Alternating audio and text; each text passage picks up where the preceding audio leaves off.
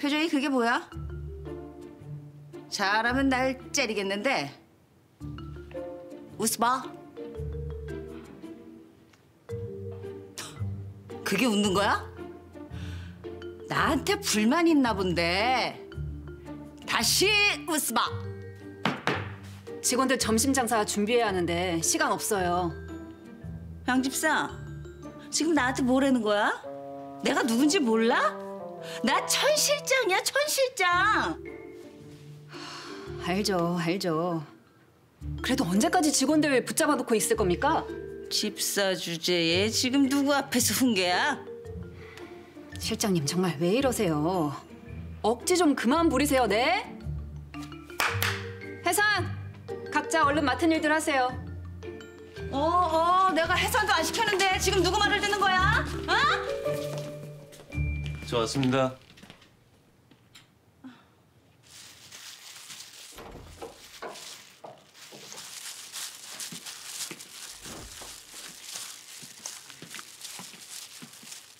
정 대장 씨. 어, 왜, 왜요?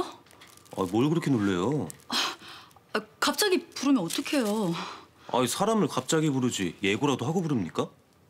아, 얼굴을 너무 들이대니까 그러죠. 아, 미안해요. 그내 딴에 비밀 얘기 좀 하고 싶어서. 비밀 얘기요?